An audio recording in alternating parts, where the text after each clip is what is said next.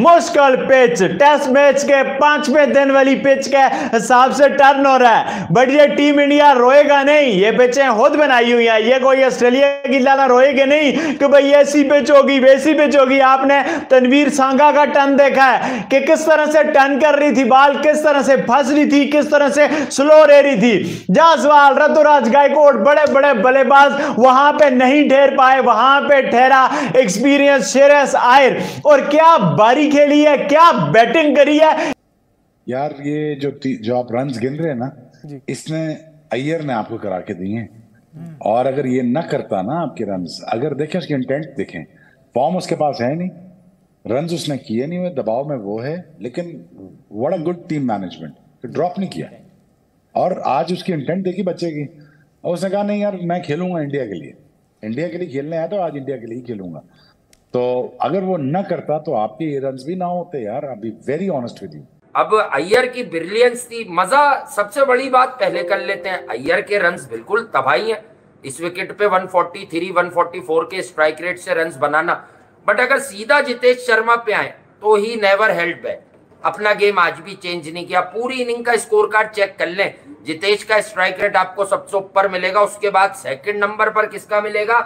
Most wanted the unsung hero of Indian wide ball cricket Akshar Patel साहब का लगाना है। और ये सीरीज़ ऑन कार्ड चार ज़ीरो है। और इंशाल्लाह ऑस्ट्रेलियन मीडिया को रोता चीहे, मारता, दहाड़ता हुआ देखना है। बॉलिंग तो है ही है, जिस तरह की आज की पिच पे अक्षर पटेल और रवि बिश्नोई का रोल बहुत इंपॉर्टेंट होगा। हालाँकि पिछले मैच में भी, आप सारे मैचेस देखो तो पेसर्स को पिटे हैं। पेसर्स पिटे हैं। जो मैच विनिंग स्पेल्स हुए हैं, वो आपको अक्षर पटेल नहीं करके दिए वो आपको रवि बिश्नोई नहीं करके दिए वो किसी और ने नहीं करके दिए। तो आज फिर टीम इंडिया एक बार इन दो स्पिनर्स की तरफ़ ही देखेगी।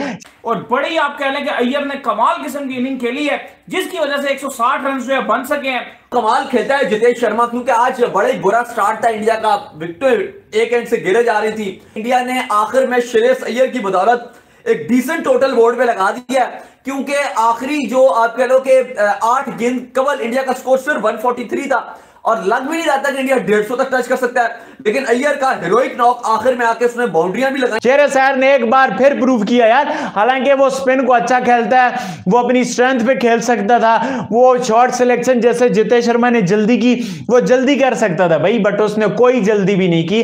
उसको पता था, यार, ये स्ट्राइक रोटेट करना है। जितेश शर्मा अच्छे टच में था, अच्छी टोन में था बट अनएक्सपीरियंस था अनएक्सपीरियंस था अनएक्सपीरियंस था।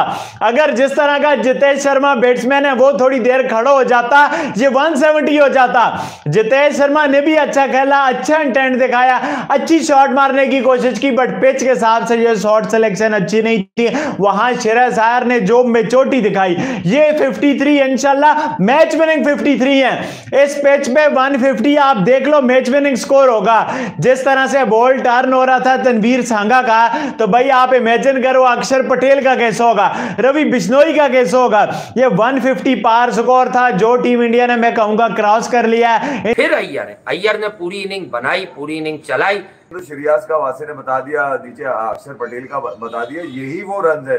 जहाँ पर आपको चाहिए थे और श्रियास अय्यर अगर देखा जाए जब से वो वापस आए जब से वो वापस आए मतलब उनके पास से उनके बल्ले से वाले रन आए थे जो एक होते हैं कि भैया शॉर्ट बॉल पे भी छह मार सकते हैं आज मारा शॉर्ट बॉल पे आपने देखा हो मिड विकेट पे सबसे लंबा छक्का जो eighty nine eighty nine metre पे गया है मेरे ख्याल में अब तक का सबसे बड़ा छक्का है इस पूरी सीरीज़ के अंदर। जितेश ने तेज खेला अक्षर के इकतीस रन के बगैर।